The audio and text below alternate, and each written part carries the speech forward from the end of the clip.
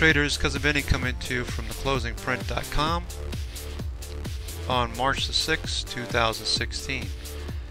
In this video we'll cover the indices weekly, they're all higher. S&P 500 plus 2.67%, Nasdaq 2.2%, IWM fared the best 4.5%, and the York Stock Exchange Composite up 3.62%. Weekly, the uptrend continues to unfold, though I think we're near resistance. We had a four-day advance. I'm looking for a back and fill. Uh, four days, I haven't seen that in quite some time without a fifth day being red. We're at resistance in a lot of places, so we'll cover that and you'll see what we're looking for going into the week. NYSE and comp are both higher with regard to tick and tick Q. So sentiment is positive, but it is overheated. NYSE, NASI. We all saw NYMO hit plus 117 on Friday. We haven't seen that. I can't recall the last time that's actually occurred. NYHL above zero uh, several days now. Eight of the last 10 days have been above zero and green. October we had 7 of 10, so we bested that by 1. CPC we have actually, that's incorrect, we have minus 0.74, that's actually a very bearish signal. Dollar, we had a huge move to the downside, was down 0.85%, mostly on Thursday, Friday. Yen, US dollar is sideways. TLT, all of the bonds were down 5% over the last four weeks emerging markets bonds were higher and the US dollar SPX bond stock ratio is still bullish and trending lower. Crude oil was higher on Friday, had quite a performance, it was over 5%. On the day, the 10E30 MA cross last week gave us a good indication that we might see higher prices. We'd expect that to come back in. Gold, we had a breakout that fizzled on Friday. All the sectors are in the red zone, so that's a caveat for the bulls, and a headwind to advances in the S&P 500 and the spiders. Bukowski, all green up arrows, but he's looking for an overhead resistance as well as we. And also we'll look at some setups in the IBD 50, among others. Here is a chart of the S&P 500 ETF SPY. We have four days in a row advancing. We haven't seen that in quite some time. We came up to the 200 period moving average, the green line. We have a spinning top. What we're looking for is a three candle reversal, a red day tomorrow, if you will, having moved up to this zone where we saw support previously. Now that we've reached this level, we could overshoot. We have an overhead level right around 204.75. So that's something to consider for the bears. We do have a small put position. At 2 o'clock, the market markets dropped, as you know.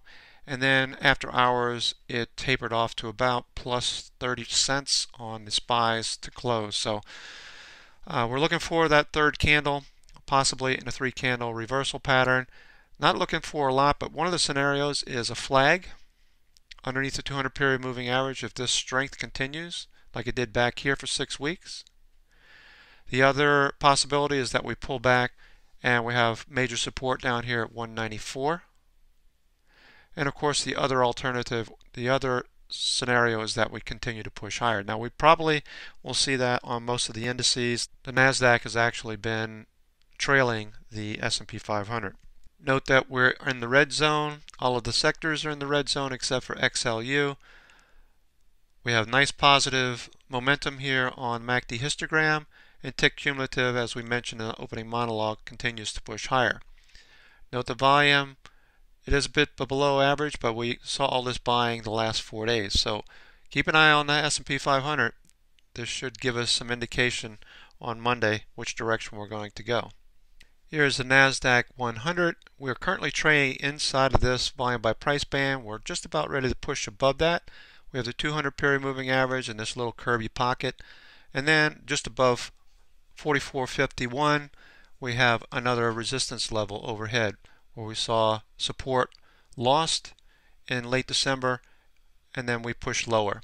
So we could see resistance up in this zone right here coming into this week. Note the flag and the fact that MACD just made it above zero, but STO again is in the red zone. Number of stocks trading above its 50 period moving average are in the areas where we've seen inflection points previously.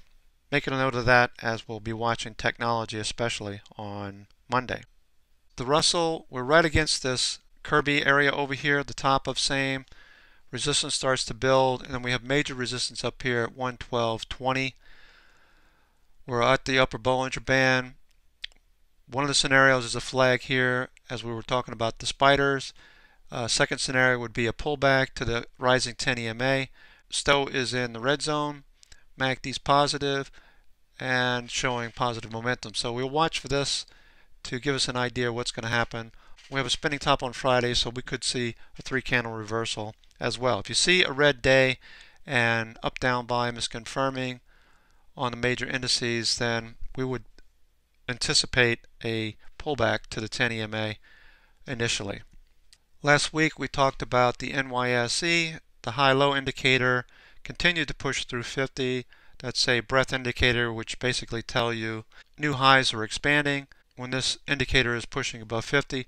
Now we're at an inflection point that we saw back in October. We have a trend line overhead, we have 200 period above that, we have this major congestion level overhead. I doubt seriously we're going to make it through there, but we could flag out, touch this upper trend line, and then possibly push higher to the 200 period moving average. That's all possible, but with the NYMO at plus 117, we're thinking with STO in the red zone, we're going to see a pullback possibly to the 10 EMA here as well. And this inflection point will resolve to the downside on the high-low indicator. NYMO surged tremendously this past week. We hit a level of plus 117 and we have this trend line that goes back to late May just overhead just above the 10,000 level. Uh, note back in October that strength in breadth continued to taper off even though we did decide to move higher back and fill. What we anticipate is that we've hit a crescendo in the breadth indicators and more than likely we'll see a pullback within the next few days. The advanced decline for all common stocks on the New York Stock Exchange, 3,100 of them, continues to push higher. We're outside the upper Bollinger Band. We're looking for a move off of this upper Bollinger Band and prices to move downward as STO is in the red zone and MACD is pretty much at a peak. We have resistance on the New York Stock Exchange. CPC, the put call ratio, also hit a lower low and an extreme, and we are looking for an inflection for this reason as well to the downside on the New York Stock Exchange whenever this indicator gets down into the red zone. Up down volume is also looking pretty interesting. Note the the lower high on Friday. This is a 30 minute chart. Note the up volume definitely was in control for the past two days and MACD has turned. So look for at least a pullback to this rising 30 MA. If this 10 EMA turns over and crosses, we could see a possibility of a move lower or a flag in the best case scenario. The volatility index, VIX, right around the mid zone, we could drop further and see further complacency. If this should happen, then we could definitely see this upper trend line and an overshoot on the S&P 500. Pondering the US dollar for a moment, the move made sense with regard to the move higher in crude oil since crude oil obviously is priced in US dollars. We hit this upper Bollinger Band, move back through standard deviation 1 bands and now hit the 20 period moving average. You can see right here that we put a wick in it's highly likely that we could see a bounce here back to the upper Bollinger Band as one scenario, which would affect dollar-denominated crude oil products as well. The Japanese yen has actually shown some weakness over the last two weeks, but it is holding at the 20-period moving average. You can see a bear flag here, with stochastic continuing to push lower. The dollar-yen pair continues to move sideways. We're in this range. These lows back here at 111 up to these highs at 114. Bollinger Bands are con constricting, so we're looking for a move in the very near future. When this breaks out, positioning on either side of this move would be quite smart. With the move lower in dollar, again, the commodity index uh, made a turn last week. Copper is moving higher. Also look at gold. Gold tried to break out on Thursday but did come back in on Friday. Hit the upper Bollinger Band and push back in. Note the volume and MACD is below its signal line and STO is near the red zone. Oil directly correlated to the US dollar. As the dollar moved lower, obviously crude oil continues to move higher. So this is hitting a resistance zone right in here between 36 and 37. Look for that. If prices do continue to move higher and the dollar moves lower, we have another major resistance level up here at 42. STO is in the red zone and MACD is positive. Bonds showed some weakness across all U.S. durations. However, the ELD, the WisdomTree Emerging Markets Local Debt Fund, was moving higher. So that's an interesting caveat for bondholders. TLT has been off by 5% since it hit this high at 134.99 and this lower Bollinger Band on Friday. Note the buying that stepped in to push prices back up. The 10 EMA is above price action currently. Uh, we would look for a push to the upside if the indices do in fact get weak as we have STO turning back up and MACD is still above zero.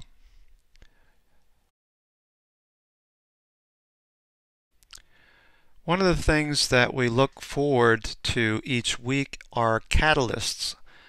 One of those catalysts are the spider sectors. Now we've added IYR, IYT, and XBI to round this out into a nice 12 sector list. If you are bearish, you want to see these indicators all above 80, which is what we see. If you're bullish, you want just the opposite, like we had back here when prices bolted higher for the past three weeks. Currently, we have a headwind if these sectors continue to turn down. Now, XLU is the only sector that is turning up. Obviously, that is a defensive as well as XLP.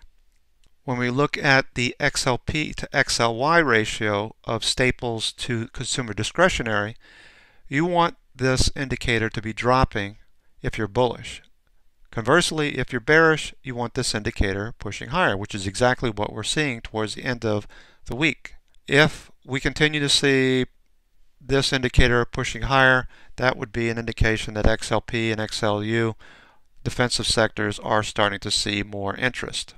Now, if you were watching our stream on Friday, we pointed out that we had this nice move in XLF, one of the sectors. We had this volume by price band where prices hit and printed a doji on Friday. Tapering volume, MACD is above zero, but STO is in the red zone. Now that's the case for every single sector as we pointed out on the candle glance chart. So if you're bullish this week, you have a headwind just by virtue of the fact of looking at sectors. Just something to keep in mind as we start this new week. Now, as Yukarowitz mentioned on his blog, and this is a quote, it'd be easy to say that the rally ends here, but strong breath, persistent investor pessimism, and the strength in other asset classes suggest that further upside ultimately lies ahead. That said, by the end of the week, the, the advance showed several signs of being overextended. Weakness early in the week would be normal. In fact, if equities continue with an uncorrected rally, these gains are likely to be given back in the weeks ahead. That's something from Yukarowitz's blog. You might want to check that out. You can see his address here, fat-pitch.blogspot.com. He shares quite a bit with the stream. Check him out and check out his advertisers as well. Here is the new IBD 50 list. I've taken the liberty of sorting by percent change as of late Friday. There's a few names in here that are new. You want to check those out. we did see quite a few of these really bolted higher on Friday when the markets moved higher as well. You can pause this and write down the names that look good. We'll certainly post some setups on the blog uh, prior to the open on Monday. But I have spent a great deal of time over the last week enhancing the features of the website. Now you note where the menu bar is here. If you're interested in the book, that's here, the strategy videos. Of course, the chat room, that's something you might want to check out. The uh, blog is now right here. So you have this homepage, static homepage, uh, some details here about joining our trading community. This is going to be a membership site in the next few days, maybe by next weekend. We're still under construction, doing some beta testing. Uh, obviously, we'll be offering instant updates via the blog, the chat room, and a game plan for the week, which highlights the things that we're looking at for this week. And these are some of the stocks from the IBD 50 list that you might want to check out. Play 5, GPN 6, XRS, and VNTV. Note the comments here and the buy stops, where support and resistance is, and some of the things that we're watching out for. These are some of the names that we're looking forward to going into the week, but aren't quite set up at the present time. So this is a feature that we'll be offering. Look for the site to go live probably next weekend uh, once we get everything squared away. The chat room is open for free at this point, so just go in, follow these directions. If you're opening the chat, double rectangle here, grab a hold of it, that'll expand the chat. So come and join us. We talk live during the trading session, talk about the trades that we're looking at and our entries and so forth. So we're very excited about going live in the very near future. Is going to be it for me for the weekend. This is Cousin Vinny coming to you live from closingprint.com. We hope you'll join us, and we'll see you on the stream on Monday. I hope this helps.